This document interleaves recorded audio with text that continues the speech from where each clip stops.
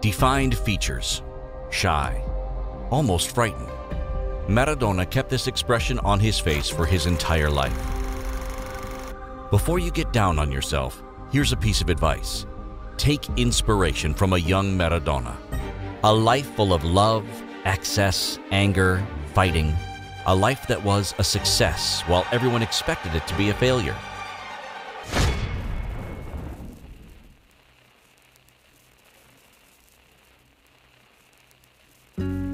It was in poverty that Diego Armando Maradona first saw the light of day in October 1960. He grew up in Villa Fiorito, a slum in the Buenos Aires suburbs. The houses were collapsing and no one collected the garbage. Drugs and violence were always present in Maradona's surroundings. Diego Sr. worked in a factory to try and earn enough money to feed his family, while Donna Tota, his wife, looked after and educated their seven kids. His mother's behavior concerned Diego.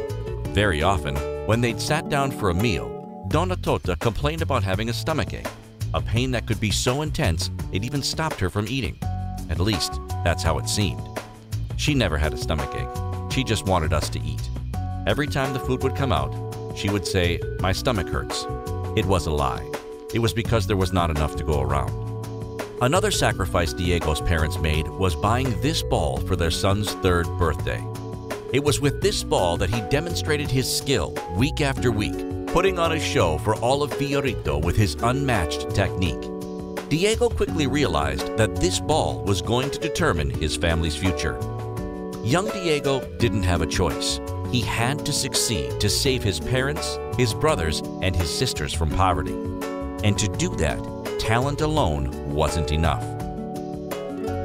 He now had to summon up all his determination.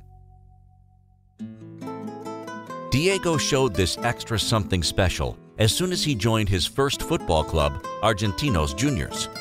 Aged 8, Maradona was more muscular than the other kids his age, but was still much shorter than them. Some of the club's managers accused him of being older than he was and of being a teenager with dwarfism. Donna Tota was even forced to present her son's birth certificate to prove he wasn't older than eight.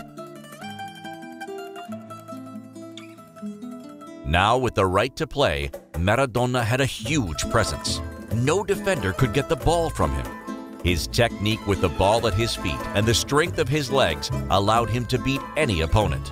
So much so that he quickly became public enemy number one in the eyes of the opposition team's parents. They didn't understand how a kid that was so short, so atypical, so poor could be better than their kids. They insulted him. Dirty rat! You have dark skin. Kill him! Young Diego responded on the pitch. He had only one aim scoring goals. His first coach, Francisco Cornejo, was convinced that this hatred made Diego even better. Football transformed him internally, making him a natural winner. As competitive at 12 years old for a soda than at 25 years old for the World Cup. The club Argentinos Juniors wanted to make Maradona an even stronger player. Young Diego had to double down on his training sessions. His father, who got up at 5 a.m. every morning to go to the factory, crossed Buenos Aires every afternoon to take his son to the training ground. A journey that took Diego Sr. and Jr. hours navigating from one bus to another. When he turned 15, the club decided to house Diego in an apartment near the stadium so he could train more easily. It's at that moment that Diego received his first paycheck. Proud of earning this money by himself, he decided to buy his parents a television as a first purchase. At 15, Diego became like another father for us. He made our day-to-day lives much more comfortable. Maradona knew he had to become one of the best if he wanted to be able to pay for a new house for his parents. And to become the best, he'd have to move into the pro ranks. Ten days before celebrating his 16th birthday, Maradona became the youngest player in history to play in the Argentine First Division. The crowds were already singing his name. A few moments after coming onto the pitch, Diego did a memorable nutmeg. The crowd sang his name even louder. Maradona scored his first professional goal two weeks after celebrating his 16th birthday. Argentina had found its greatest young talent.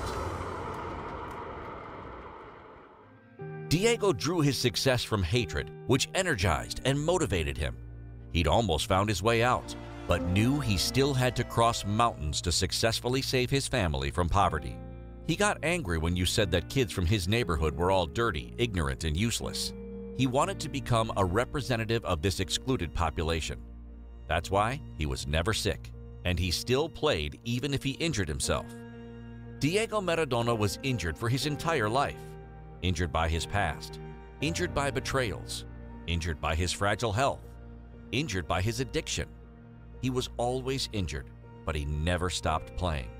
And when Diego played, Maradona won. The rest belongs to history.